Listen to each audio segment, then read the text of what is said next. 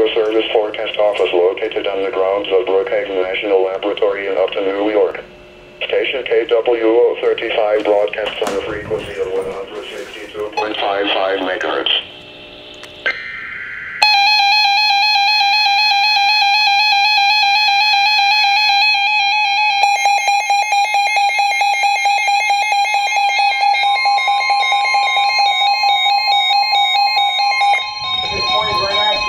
Here we go.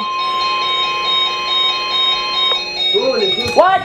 Shut up. National Weather Service in Mount Holly, New Jersey has issued a severe thunderstorm warning for northeastern Middlesex County and northern New Jersey. This includes the cities of New Brunswick, South Amboy, Perth Amboy, South Central Morris County in northern New Jersey, Somerset County in northern New Jersey. This includes the city of Somerville until 3:45 p.m. At 2:58 p.m., National Weather Service Doppler radar indicated a severe thunderstorm capable of producing quarter-size hail and damaging winds in excess of 60 miles per hour.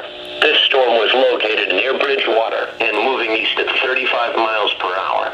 The severe thunderstorm will be near Martinsville, Far Hills, and Bound Brook around 3:10 p.m. Millington, Basking Ridge, and Middlesex around 3:15 p.m. Chatham and six miles north of Colonia around 3:30 p.m. This is a dangerous storm.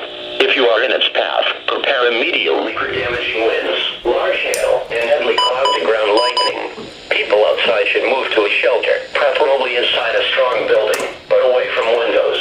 Repeating, a severe thunderstorm warning has been issued until 3:45 p.m. for the following counties in New Jersey, Middlesex, Morris, and.